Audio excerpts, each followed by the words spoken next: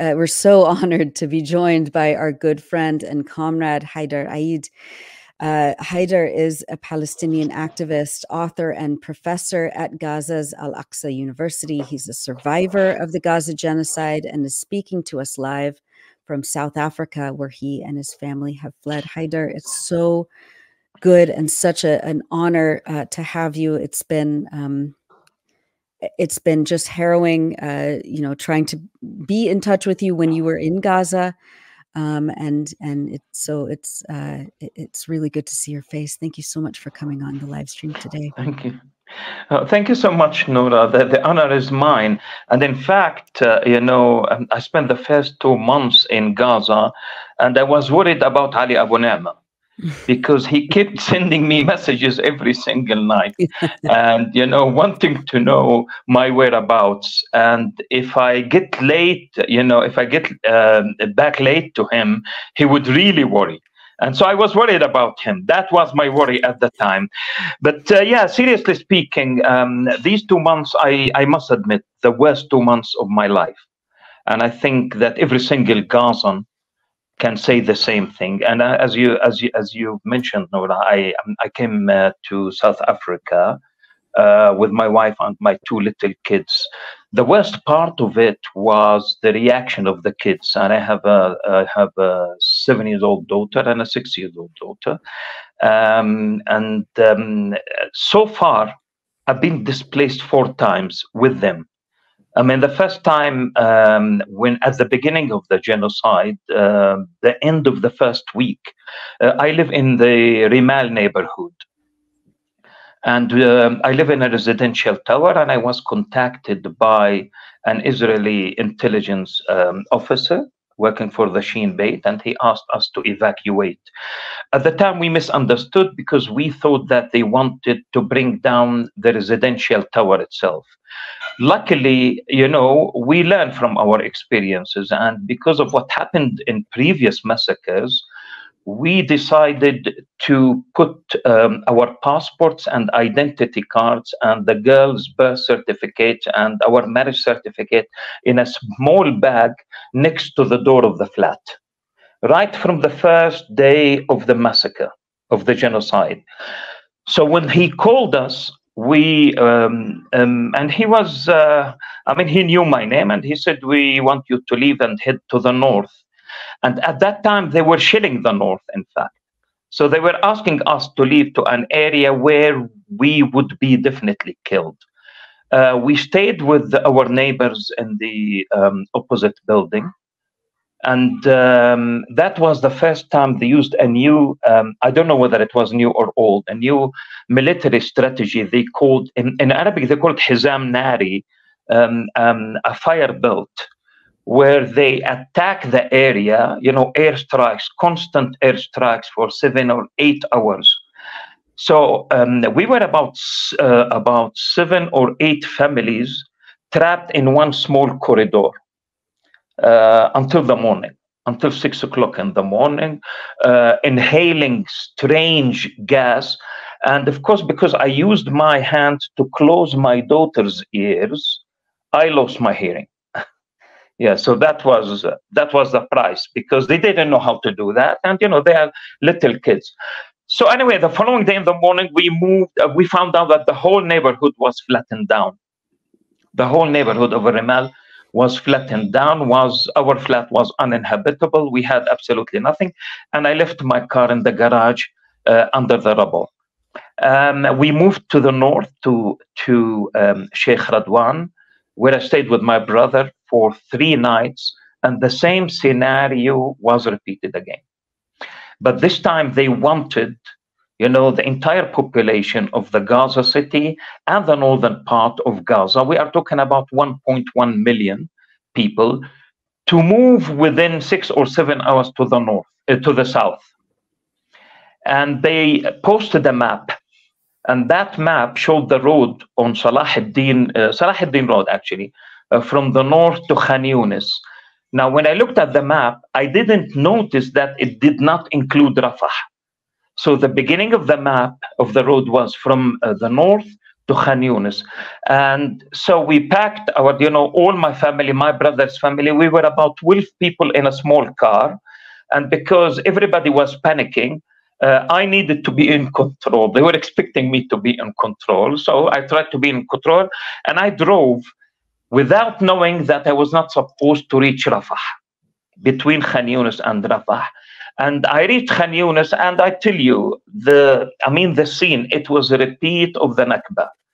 I mean, you know, hundreds of thousands of people on, on, you know, horses, donkeys, trucks, lorries, cars, people walking, halting toddlers.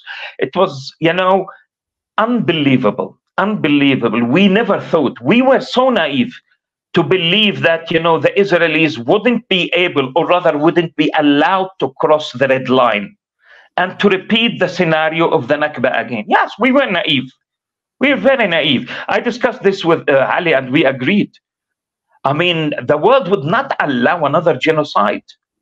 I mean, the only, or rather the first genocide in the 21st century. Anyway, my, my brother had, while I was driving, he was sitting next to me with his daughter and his son, and about 10 people were sitting at the back. He had um, a minor heart attack when we crossed from. Uh,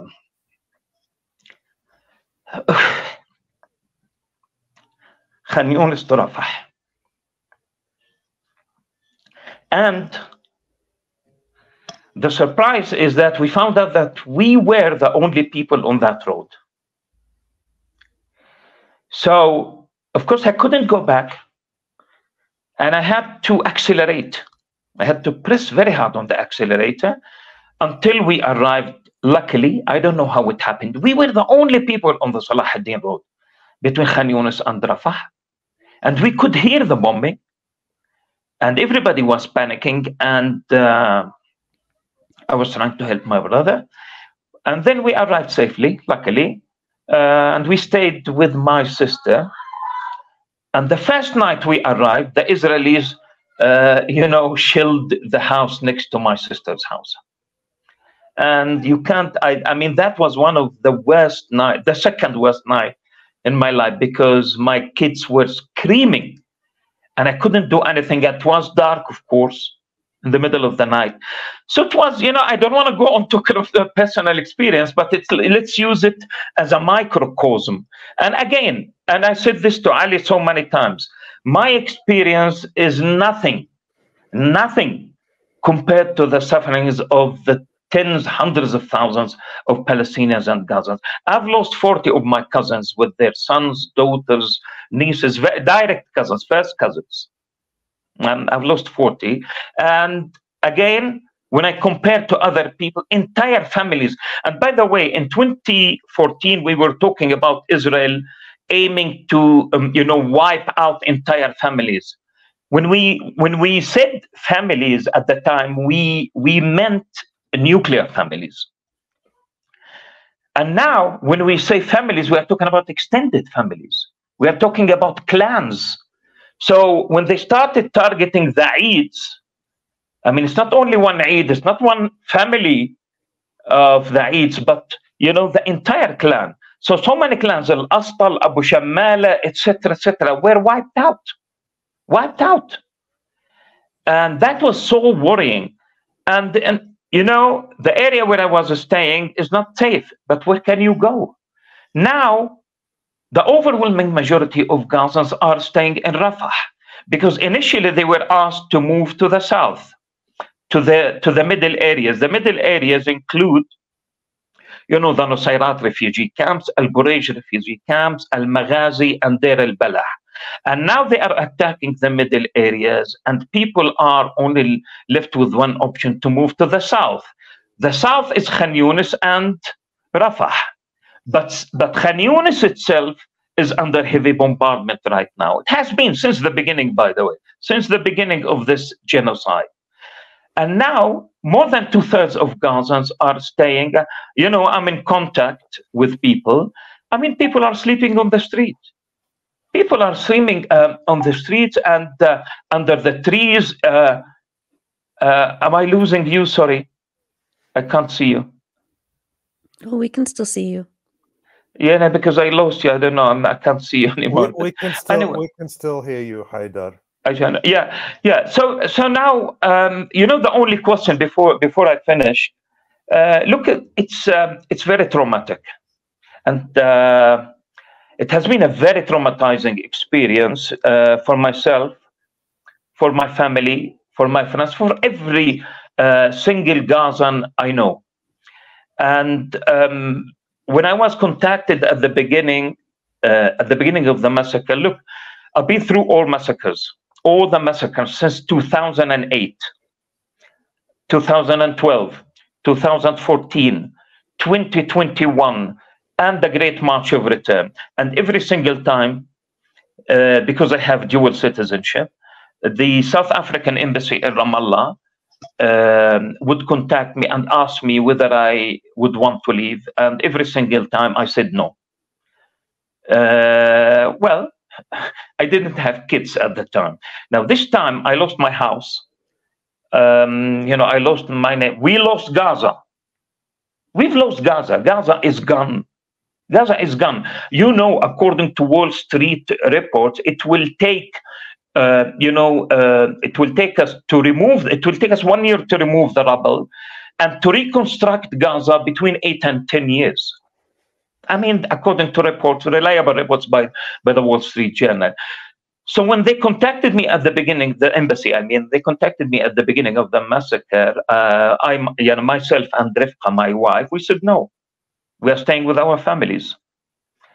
Uh, and and then after a one month after that, they contacted again, and that was the time when I started seeing serious psychological.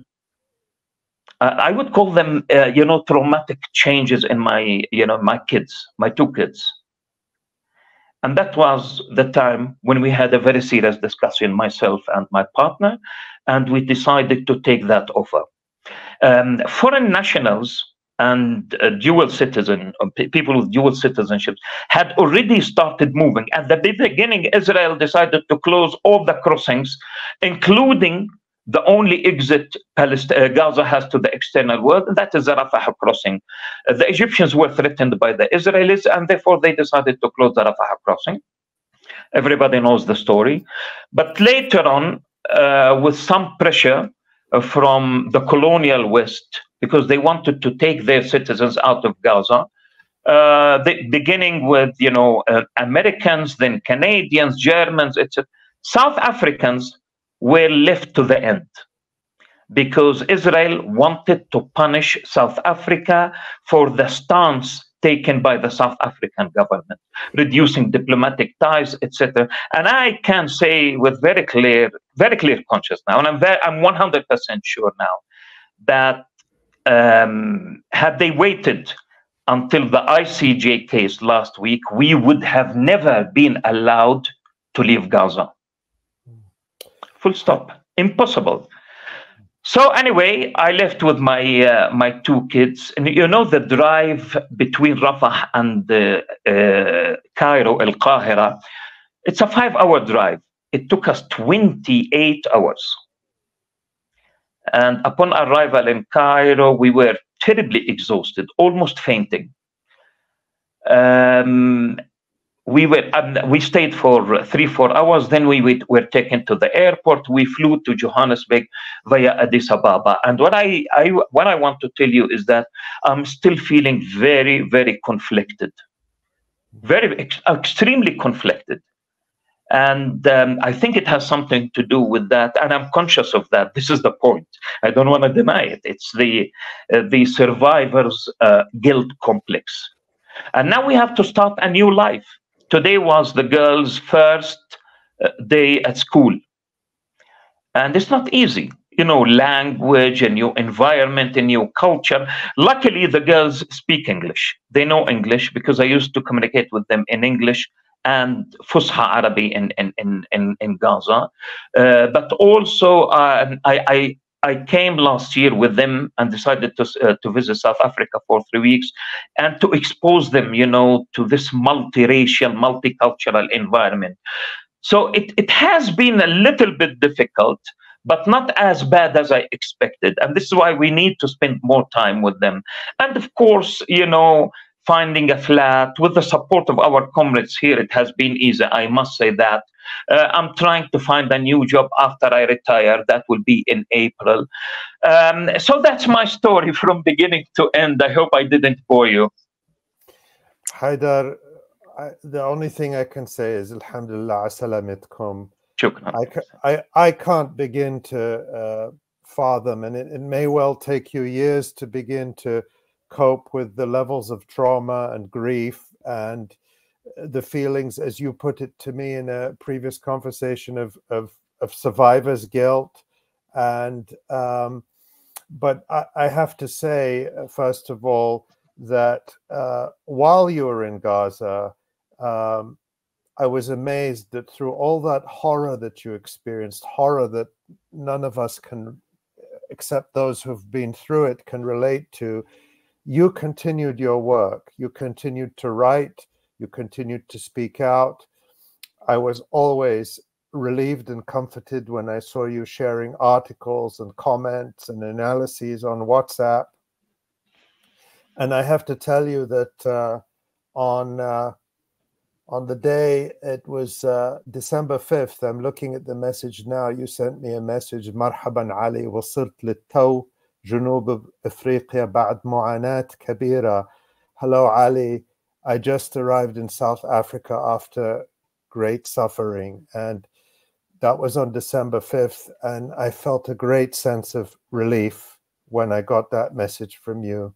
Um, two days later, we would learn that actually on the next day, December 6th, Israel murdered our dear friend Rifat. and uh, that there's th- that that's something we will never forgive or forget. And uh, we wish he could be here with us in this conversation. And we're just gra- grateful and happy to have you here. And we wish you and Rifka and the girls all the best. And we pray night and day that everyone in Gaza, everyone in Gaza will be safe. And no one will ever begrudge you that safety. No one will say you should have stayed in that hell if there was a way out. And uh, you are such a, you have been for so many years, Haidar, such an important voice uh, for our people, for our cause, uh, for the boycott, divestment, and sanctions movement.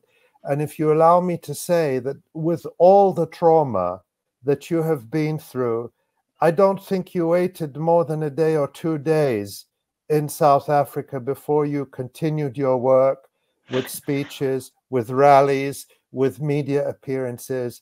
And we need your voice in this world, and we need the whole world to hear it. So thank you, Haidar, and thank you for putting up with all my annoying WhatsApp messages. You had quite enough to deal with. But uh, let thank me you, just let me just say uh, that uh, I just coming to uh, the recent uh, the events of last week at the ICJ. I just want to read a sentence or two from a piece you wrote recently for Al Jazeera. You wrote, We Palestinians will not forget the sickening cowardice of the so called international community, which has allowed and enabled this genocide.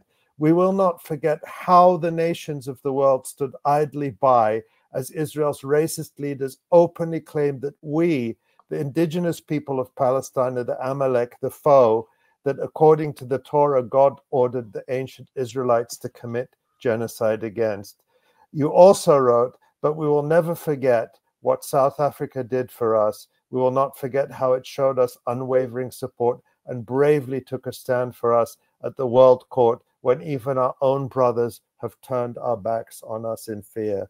So I just want you to say a little bit more, Haidar, about what it was like, both for you as a Palestinian and a South African, to see this. What was the mood in South Africa, and uh, what do you hope will come from this? Yeah, well, um, you know, Ali. Um, I mean, um, you know very well that there is a context. And that context is you know in a way historical um, you, if you remember when uh, when israel decided to redeploy its troops around gaza of course they call it withdrawal and we call it uh, redeployment surrounding gaza and transforming it into uh, into a concentration camp um, I don't like to say, uh, you know, the largest open air prison because it's not an open. I don't know what open air prisons uh, are, but I know what concentration camps are because I lived in a concentration camp. So Gaza was a concentration camp. And all of that happened in 2006 when we were asked to head to the polling stations and vote for our representatives. And when I say our representatives, I'm not talking about you, Ali, uh, about Tamara. No, I'm talking about the residents of the Gaza Strip and the West Bank because Oslo, the Oslo Accords actually um, reduced the Palestinian people to only those who live in the Gaza Strip and the West Bank. So people went to the polling station, but not myself. I refused to vote because I don't believe that you can have true democracy under the barrel of the gun of a Zionist soldier. I am opposed to, legit- to elections under occupation and settler colonialism. But anyway, people again were naive to head to the polling stations, voting, not voting for a party, voting against a policy, against the two state solution, against the Oslo Accords, against corruption. In other words, they voted against the will of the occupation and against the will of the United States of America, the enablers of occupation, the enablers of genocide. And this is why apartheid Israel, in cahoot with reactionary Arab regimes and its enablers and supporters in the colonial West, decided to impose this, you know, deadly medieval siege on, on, on the people, on, on Gazans. Now, that was that was the beginning of the context that I uh, that I'm referring to. Israel wanted to test the water of the international community. If it carries out a war crime, a crime against humanity, how would the international community react? And this is why in 2006, uh, Israel committed, excuse me, um, you know, the Beit Hanun massacre. The, the international community did absolutely nothing. Then 2008, 2009, for 22 days, committing a horrific crime, killing more than 1,200 civilians, including 400 children. And what was the reaction of the international community? Nothing. Nothing. The international community stood idle. And therefore, Israel decided to repeat th- the same thing on, in 2012. And then in 2014, killing more than 2,200 people, um, almost um, half of them are children and women.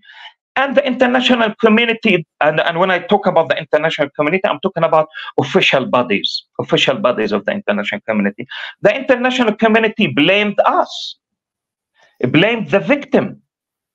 In other words the colonial west decided to endorse the zionist narrative regardless of the losses of you know um, lives of civilians and children and women and and this is why what happened is that on the 7th of October, I myself, if you remember, Ali, I mean, people, um, youngsters who grew up, you know, between 2000, I mean, 2006, they were four years old and five years old. They grew up in this extermination camp.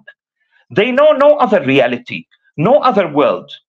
They did everything, begged the international community, the Arabs, to put an end to this deadly siege. Nothing happened.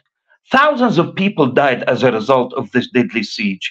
And therefore, they decided to break the walls of our Warsaw ghetto, the Gaza ghetto, the Gaza ghetto on the 7th of October. And then that was used an excuse to carry out this ongoing genocide.